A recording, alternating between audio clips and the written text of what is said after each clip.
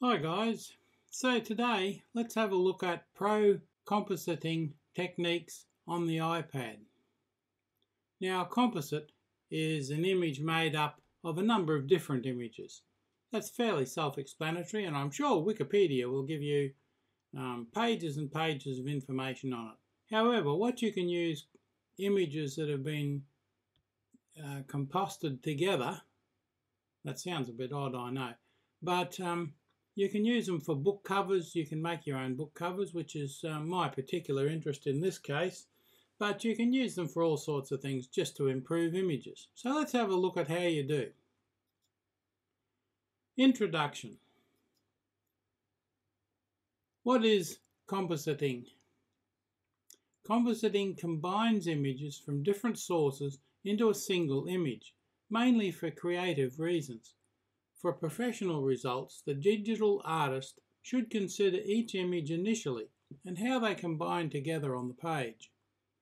If there is a disparity between the images, it can lead to the finished image having an unnatural look, inconsistent ambient lighting, colour differences, clashes in images, directional lighting variations, and images which are hard-edged. So let's explore how to overcome such challenges. The images are supplied and downloadable from a couple of sources. This in fact is the iPad workthrough of the workbook for Affinity Photo desktop version. Now some of the controls, well a lot of the controls on the iPad of course are quite different to the desktop and there is no workbook for the for the iPad. So let's have a work through this and see where we end up. It's quite a long exercise and I've made chapter headings which you'll find below in the description. So if you don't want to scroll through the whole thing or you want to come back to see how something was done, just click on the chapter heading and YouTube will take you to that particular part of the video. So having downloaded the resource file, either from Affinity directly or from my website's download tab, the first step is to import the background image and the small brush pack. You need to have a project open already in order to import the brushes. So you can do this now with a temporary new file or do it when you first set up the background. In other words, you can just import the background straight off and then import the brushes. The workbook project chapter um, is below there, https affin.co slash discovery, and that will allow you to download, assuming you're registered with Affinity, to download the assets. So let's begin with loading the background JPG image from the resource pack. Select the plus sign to begin a new document, then select Open from the cloud. Now locate the background JPG in the resource folder and import it. We can now load the brushes. From the Brushes panel preferences, select Import Brushes. Navigate to your resource files, select and open Discovery AF Brushes. The brush set will be imported into the Discovery category in the brushes panel. Your brushes will appear in their own category, so they're easy to find. Now in this section we're going to do some scene splitting. The first step in our process is to separate the base image into foreground, midground and background so we can work independently on each section. So tap the selection persona and from the tools panel choose the selection brush tool. Drag over the foreground to select it. Now with scene splitting we're going to make some modifications here. From the main toolbar select Refine Selection then output as a new layer named foreground. And you can see there the refined selection is not only on the refine button in the in the um, in the selection menu, but if you click on that button on the left hand side, it brings up a whole new context menu for you. and the one you want is New Layer. And name it Foreground. That creates a new layer in your layer stack. Call it Foreground. Now repeat that for Midground, which includes both the foreground and the midground. Set the border to about 10%. That's in your overlay file. Repeat for midground, which includes both foreground and midground. And you can see we've got there, rename the layers to foreground and midground. So you've got foreground, midground, background. Three layers so far.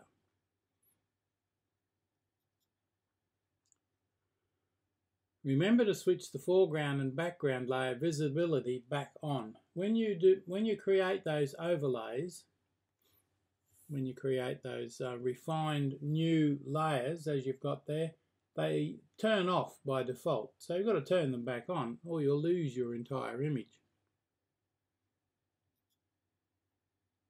Now, adding content.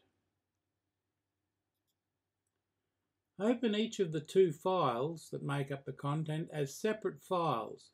Don't load them into your document, load them as separate files. And you can see the image there, I've got them open as separate files. Astronaut and element.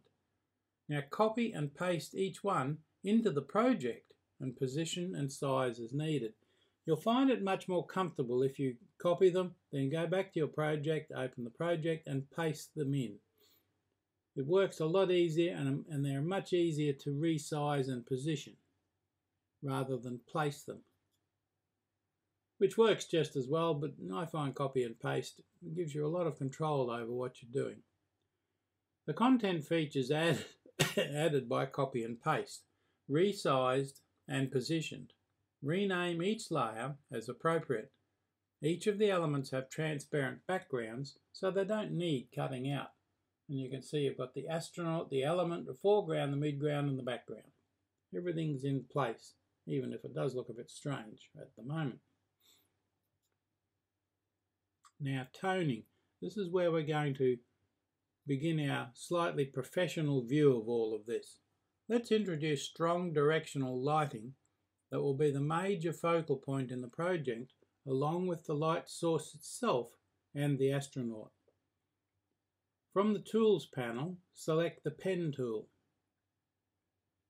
third from the bottom. Tap repeatedly on the page to draw a fan shape with no fill. So you start at the light source, over, go over to the astronaut's faceplate, tap there, down on his shoulder, tap his thigh, tap, ankle, tap, and so on, right around back to um, the element. Tap repeatedly on the page to draw a fan shape. Make sure fill is not on. You don't want fill. Name the layer light beam.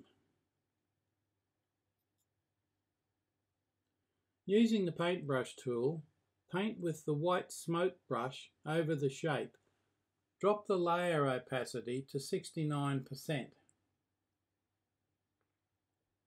On the Layers panel, clip the brushed layer to the light beam by dragging. So you drag one into the other one and it clips it and you can see what you've got there. So that way it only affects that light beam area.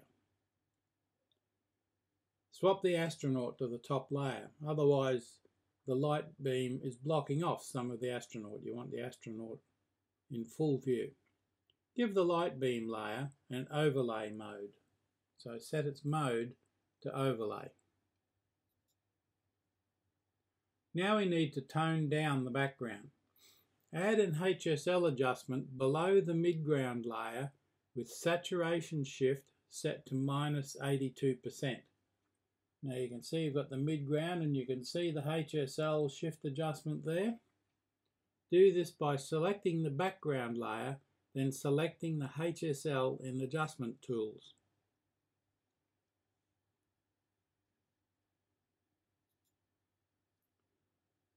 To offset the grey look, use the rectangle tool to add a rectangle spanning the sky and with the gradient tool apply a fill 0 01243 the, the colour range across the shape. have it falling away towards 0% opacity and name the layer tint. Now you can see the color layers there. You can see the rectangle with the gradient tool, which is linear and going from top to bottom. Transparent nearly at the bottom, but not so transparent at the top. Lessen the whole layer opacity to 50% and set its mode to soft light. And you can see the slight difference there in the rectangle now.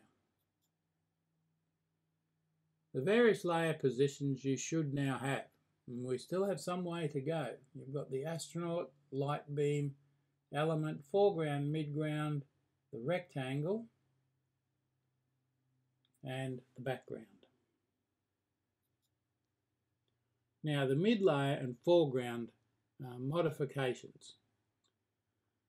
So the mid layer, add another HSL adjustment and clip it to the middle or the mid-level mid -level layer. Might set it to 14, minus 52 and minus 14, hue, saturation and luminance. This adjustment pulls down both saturation and luminance levels. In all cases, you can adjust these levels to suit your look and feel. I don't know if I mentioned it yet, but remember that the iPad um, color levels are somewhat different than the desktop. So some of your adjustments may need to change, not a lot, but a little bit, other, to suit your own needs. So next we'll adjust the foreground layer. Repeat as for the midground layer, but set the levels to 5.8, minus 55 and minus 59. Apply the adjustment. Next we will adjust the foreground layer. All adjustments are non-destructive as they are independent layers. You can alter them at any time later. The project looks dark at the moment, but now we can light it in a controlled way. Excuse me, and you can see the layer panel there, astronaut light beam element foreground with HSL shift, midground with HSL shift, a rectangle with tint which has um, a gradient in it. Now, lighting and masking as we move right along here. Unmasking to introduce lighting. By unmasking areas, more light will be revealed, and I'll use a soft brush for this. From the Tools panel, select the er-, Erase Brush tool. That looks like the looks like the eraser on the end of a pencil, about halfway down there, just below the brush. From the Brushes panel, choose a round light brush. Now these are your basic brushes, and you can see it there, round light brush. They're different sizes. Now you only want a soft one of those, which is um, you can see in the uh, context toolbar there where it's a very faint brush and I think that was probably the one that's one, two, three, fourth from the bottom is the one I think I selected. It's not in highlight there, which is a bit of a nuisance, but never mind. From the brushes panel, choose a round light brush and from the context toolbar, reduce the flow to about 30%. In fact, you probably need to be a little less than that keeping hardness at zero. Adjust the opacity to suit and choose black to erase with, but don't touch the image yet. With the foreground layer's adjustment mask selected, erase away the adjustment under and in front of the astronaut to reveal the unadjusted foreground layer. To bring back some colour from the sun, erase on the HSL adjustment mask directly above the background layer in a similar way. So although the rest of the image is quite grey, we're bringing up the astronaut and his surroundings and the sun and its surroundings. You can see that activity on the, um, on the layer panel. As I've exposed more colour and light when erasing the foreground, I added an HSL adjustment clipped to the foreground layer that desaturated at minus 55% and removed luminance at minus 59% from just that area. You'll need to adjust your values to suit because as I mentioned the iPad produces slightly different results to the desktop. Now we're going to work on the astronaut. Our astronaut looks even odder than most astronauts do when they find themselves out on the moor fully suited up. He's a good example of tonal and lighting mismatch. It can be fixed, however, with a simple adjustment and then some erasing. Let's go to the next steps, and you can see how odd he looks, quite a, quite a smoky dark background and a bright white astronaut standing in the middle of it. From adjustments, select the brightness contrast adjustment. Alter the settings to match the surrounding scene. Clip the adjustment to the astronaut to affect just the astronaut. Set the brightness to minus 100% and contrast to 68%. So you can see the astronaut is not quite so bright and white anymore. Using the same principle excuse me, as used for the foreground, reintroduce light by erasing parts of the adjustment mask over the astronaut's spacesuit. Select the astronaut's brightness contrast adjustment layer. You can see it at the top there selected. With the erase brush tool, and you can see the width, opacity and flow down the bottom there. You might even need to alter those slightly in your case.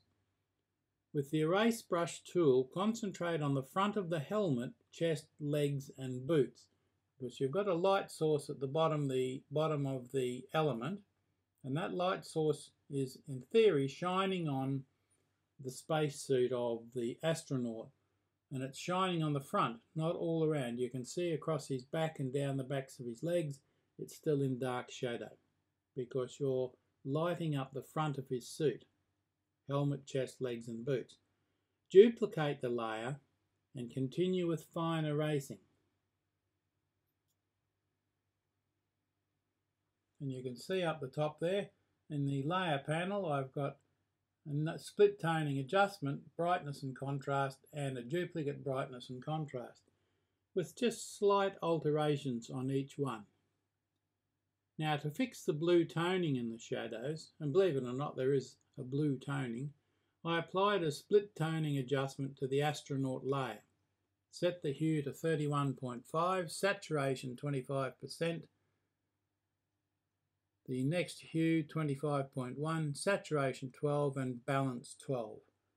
You can see across the bottom in the context toolbar there's a, quite a number of options there and you set each one to suit. Don't take my numbers as gospel but they're a good starting point. Now last in this section now I've enlarged the image a bit erase around the boots using the grass brush on a new mask layer to blend the boots into the grass. Difficult to see here, but you'll see it when you do it. Now, I, you can see the grass there. I've kind of emphasized really long grass around his boots, so you can actually see it happening in the image. But that's up to you. You can enlarge the image by dragging out with your finger and thumb, and you have a lot of fine control over that grass brush. Don't paint it on, just dab the grass in where you need it. Now, shadows and highlights.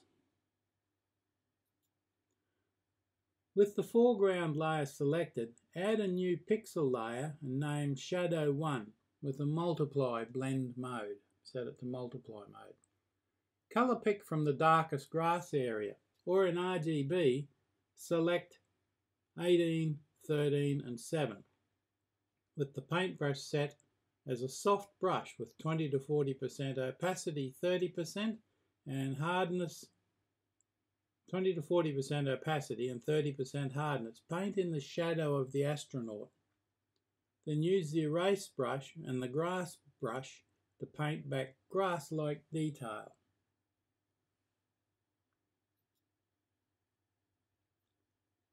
Highlights are added to the grass in front of the astronaut in two passes, first by painting, then by erasing with a grass brush.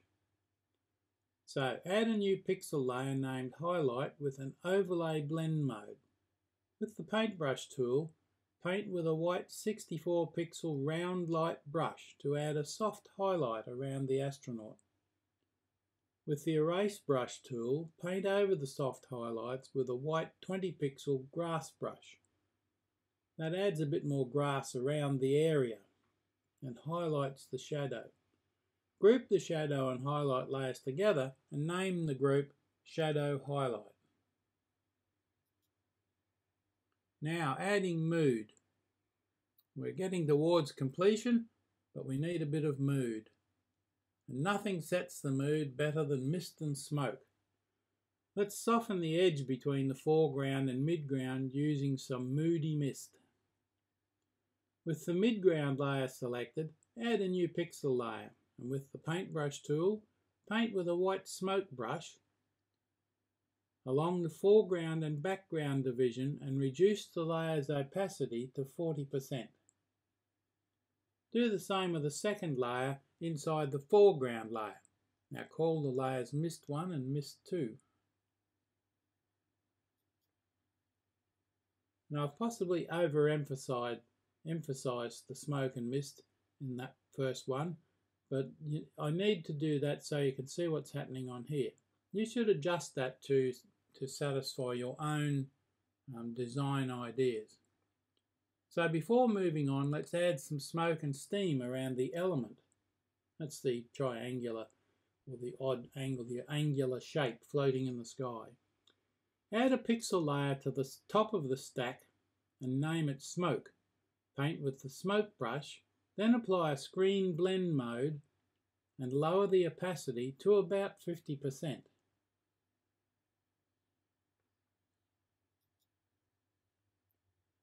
Let's add some steam around the element. For steam, create a group called steam, placed under the smoke layer, which should contain at least two pixel layers containing more widespread brush strokes, using the same brush with soft light and lighter colour blend modes respectively on the two layers. And you can see on the angular shape I've got steam appearing around it. Now, steam or smoke, it's up to you, but it looks Mm, vaguely like a bit of steam. To complement the surrounding mist, the light beam needs to be more diffuse. So select the light, light beam layer and apply a Gaussian blur at about 6 pixels. You can adjust that to suit. The various layers are shown now in the layers panel and there's quite a bit there, some in groups, some not. So we've got smoke, steam, the astronaut, light beam, element, shadow 1 and 2, some highlights, mist 2, foreground, mist 1, midground, tint, and so on. Now I might add at this stage, if you haven't got a lot of memory in your iPad, it might be slowing down. So take your time with it because there's a lot of information in this and you may find your iPad slowing down a bit. Now the finishing touches, we're nearly there. We need, we need to add image depth. At the moment the image appears slightly flat. So let's give it a sense of depth. Now choose layers, then add a new pixel layer to the top of the stack. And select add live filter. That's in your filters panel, add live filter and use Gaussian blur and set it to 1.2 pixels, which seems very small, so you may have to adjust that slightly. Drag the filter layer into a position just above the mid-level mid-level layer. And you can see I've got it there. The live adjustment layer is just above mid-ground. Down in the, you start at the top and then when you've got it working, drag it down to just above mid-ground. Now, making stars. In this, we will add a blue haze under the light along with some stars. using a file that contains both. Open the stars PNG in Affinity Photo. Copy and paste its layer content onto your project file. Position and size it over the light beam, just like you did with the resources right at the beginning. Name the layer stars and give it a screen blend mode and 80% opacity. Now apply a mask layer and erase with the erase brush and a black smoke brush. 79% flow and 0% hardness around the image edges. And you can see the image edges are sort of smoked away there. Add a couple more stars with the star brush if you wish. The stars are indicating, I believe, another dimension. Now accentuating light sources. Let's add some glare to the elements, light source and the sun. Add a new pixel layer called Glare and Sun. With the paintbrush tool, paint over the light sources with a white round soft brush set to 0% hardness. Apply an overlay blend mode and lower the opacity to soften the result. Switch to the sun layer and do the same. And you can see it's, it's slightly harshened the light coming from both the sun and the element's light source. Now, tonal fine tuning, we're just about there. Tonal adjustments and filters applied to the top of your layer stack affect the whole composition. So make sure all layers are deselected. If you still have a layer selected, just flick your finger or, or uh, pencil to the left and, and it'll unselect it. Select adjustments. From the list, apply the following. Curves adjustment to lighten the shadows so the image corners aren't so dark. And it's, it's difficult to set there, but you can see the X and the Y are set to 0.43. I've got the bar just up from the bottom and a slight curve in the middle. And that, that reduces the shadows so the corners aren't so dark. Tonal adjustments and the filters applied to the top of the layer stack affect the whole composition. Set the white balance to warm up the image, 17% and minus 5. And you can see the adjustments on the side there. White balance is the bottom one. When you click on that, you've got the context toolbar to suit and you can change that. And you can see 17% for balance and minus 5 for tint.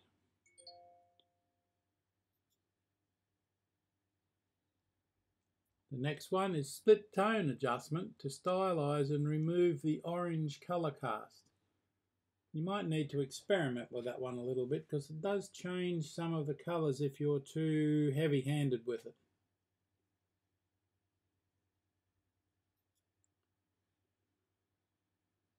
Now the last one, create a live unsharp mask filter, making sure all other layers are deselected.